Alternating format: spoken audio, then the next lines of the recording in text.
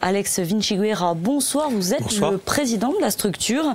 Alors l'an dernier, euh, selon euh, les chiffres de votre bilan, vous avez soutenu 166 projets. Alors quel secteur et surtout comment se fait cette sélection? Alors, euh, pratiquement tous les secteurs de l'économie corse, du tourisme au commerce en passant par l'artisanat, en lien étroit d'ailleurs avec euh, nos partenaires, je pense aux chambres consulaires, mais je pense aussi aux, agences et offices de la collectivité, qui sont souvent nos financeurs et pour lesquels euh, nous menons des politiques. Euh, comment ça se fait? On a trois grands pavé d'intervention. Le premier, c'est l'aide, le soutien à l'investissement.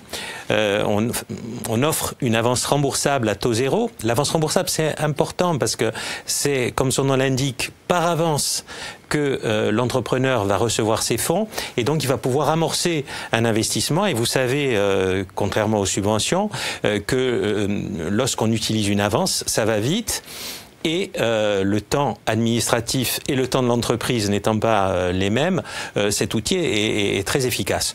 Autre moyen, euh, notre directeur général Jean-Michel Catane y en a parlé, c'est l'avance de trésorerie où on va soutenir la trésorerie des entreprises. Et justement, excusez-moi, je vous coupe, mais l'avance de trésorerie, j'allais y venir, c'est une nouveauté. Est-ce que c'était un vrai besoin pour le tissu économique insulaire? C'était un besoin essentiel. Et lorsqu'on examine le succès qu'a cette mesure, on s'aperçoit que ça et puis c'est très complémentaire à ce que euh, peuvent faire l'ensemble des banques.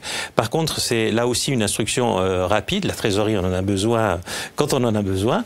Euh, on n'est pas dans le même tempo que l'investissement et on s'aperçoit qu'on a énormément de demandes et je, je, pense que les 10 millions qui nous sont alloués seront consommés très probablement d'ici 2021.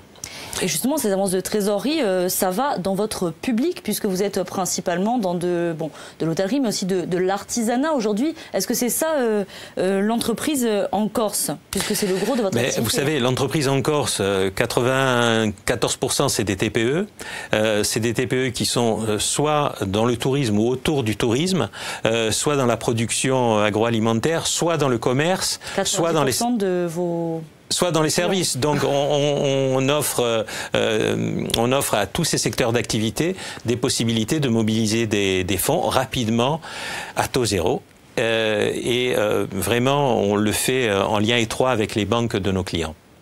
Merci Alex Vinchuguer d'avoir été notre invité. Merci.